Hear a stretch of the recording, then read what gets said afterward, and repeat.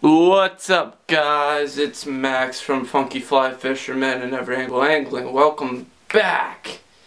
I uh, just got back from the gym and now that I have that over with, spend my day in here in the good old fly dungeon.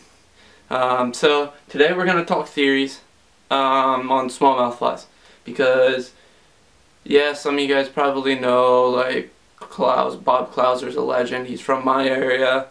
Um, and other guys like him. Brian Shoemaker's a big guy on Susquehanna.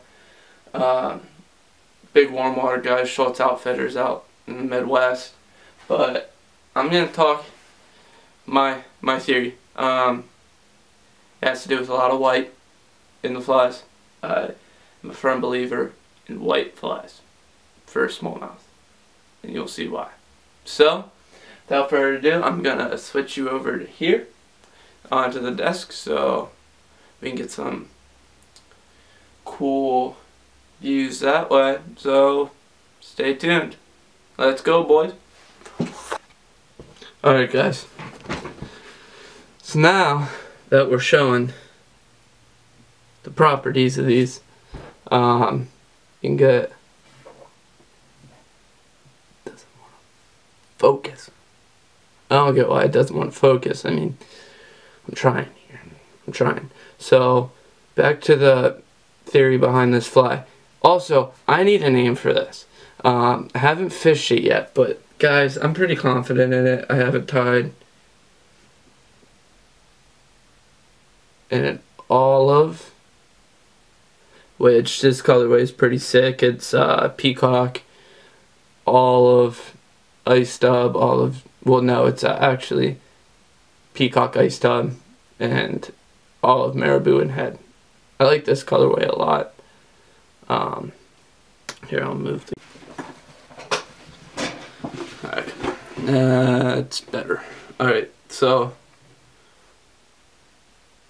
it's probably the best angle yet. It's olive Got a nice flashy tail on it. Um, same ice dub in the front. And it's all the same theory. It's just an olive color because, like I said, yes, white. I live by white flies. Um, but they're not always the answer. My dad, personally, will say the black bugger is the best pattern to ever come onto this planet. Um, he's outfished me even with ugly ones just like this with barely a hook gap.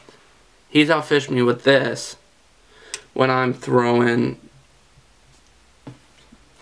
I mean this is uh, not a good example but stuff like this.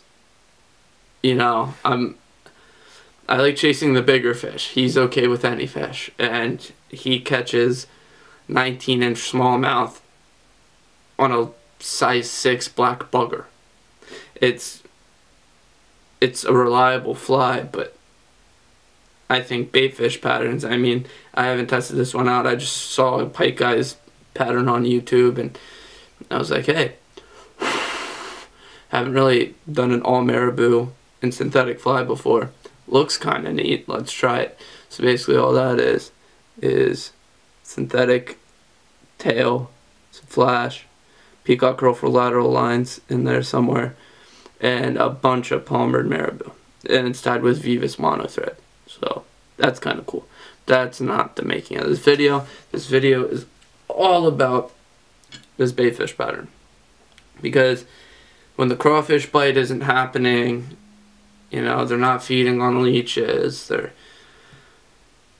they don't want anything too big, I think a pattern like this will work.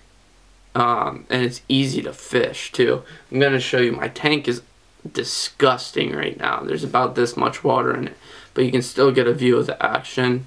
So I'll do that for you guys. I'll set you up on the tripod um, and I'll get hopefully a view of the action. The lighting sucks over there, so um, but yeah, that's the done deal.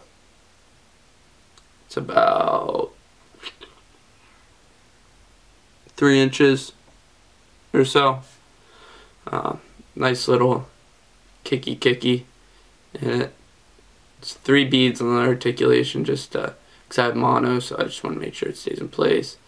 But That thing, is going to have lots of action in the water. So, let's give this thing a shot. Um, do I do a tying video of it?